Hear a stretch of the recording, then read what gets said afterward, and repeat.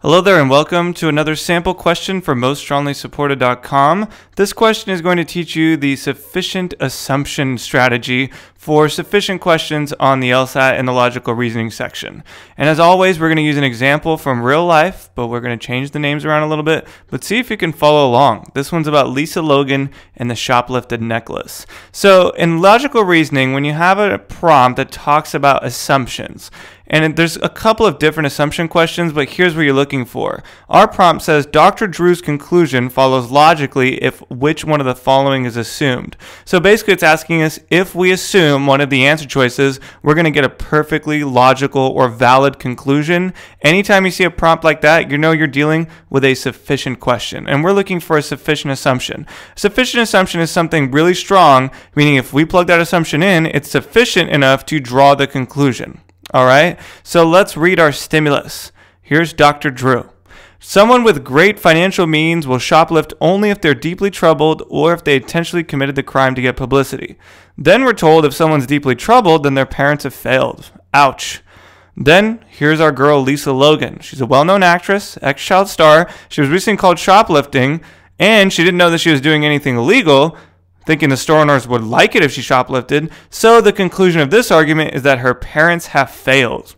Now, oftentimes in sufficient questions, you get conditional statements that you can diagram, and that's what we have here. We have two conditional statements in this stimulus, so let's start with that first one. If you have great financial means and you shoplift, that happens only if, and remember, only if always introduces a necessary condition, that'll happen only if you're deeply troubled or if you did it on purpose to get attention. Okay? The next thing we know is that if someone's deeply troubled, then their parents have failed. Ooh, those looks like some failure parents to me. And let's remember our conclusion this argument. The conclusion here is that Lisa's parents have failed. Now, because the argument tells us we need an assumption here, we know there's something missing in this argument, so we got to figure out what that is. But let's think about first what we know about Lisa Logan. So we know Lisa Logan shoplifted. That's for sure. We also know that she didn't know she was doing anything illegal. So it can't be that she intentionally did it to get publicity because she didn't really think it was a crime at all. So that doesn't happen here. So here's what we have Lisa Logan shoplifted, she didn't do it on purpose, and then this argument draws the conclusion that her parents failed. Now, if you look at what we have in our conditional statements, we're really close to getting that conclusion. We're just missing one little piece. What are we missing? Well, what if we knew that Lisa had financial means, great financial means? If we knew that was true, then look at our argument. We have someone who has great financial means and they shoplifted. That leads us to knowing that they're deeply troubled because Lisa Logan didn't intentionally steal it. Then we know that if someone's deeply troubled, then their parents failed.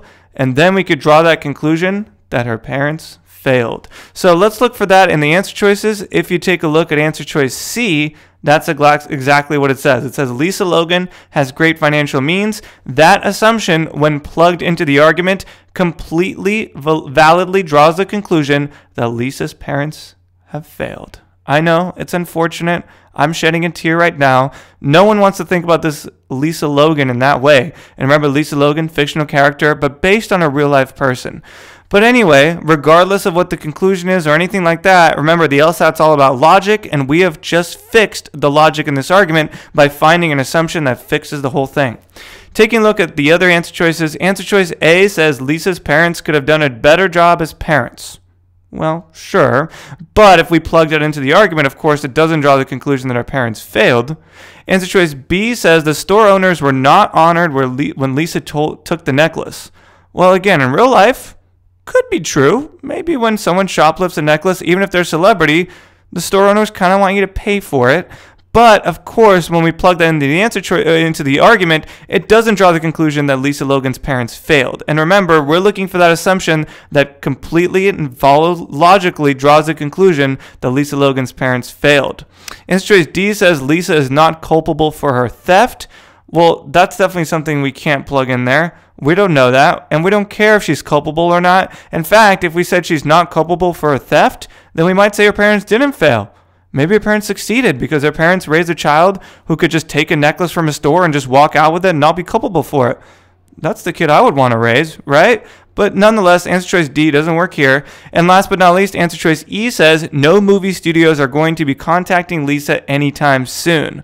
Well, that doesn't really matter either way. That's not an assumption we need here. Again, just because movie studios won't be contacting Lisa doesn't necessarily mean that her parents failed. It might mean that, but it doesn't automatically mean that. And remember, we need a conclude we need an assumption in there that gets the conclusion 100% logically. So E doesn't work for us. We're going to stick with C as the answer choice for this assumption hopefully that gets you a little bit of a head start and a little bit of an idea of how to solve these sufficient assumption questions.